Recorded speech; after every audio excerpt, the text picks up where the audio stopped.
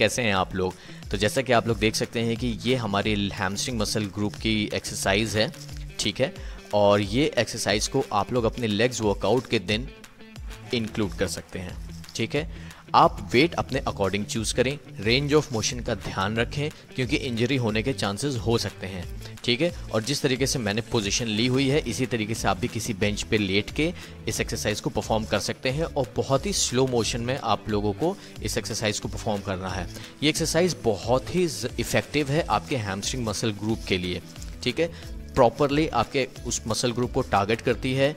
Isolate करती है और आपको बहुत ज़्यादा अच्छा पंप मिलता है इस एक्सरसाइज को परफॉर्म करके, ठीक है? बस आप लोगों को कुछ चीज़ें का ध्यान में रखना होगा। पहला तो वेट है, ठीक है? आप लोग लाइट वेट से स्टार्ट करें, आपको हल्का लगता है तो फिर आप लोग वेट इंक्रीज कर सकते हैं और रेंज ऑफ़ मोशन का डेफिनेटली ध्यान दें, ठीक है?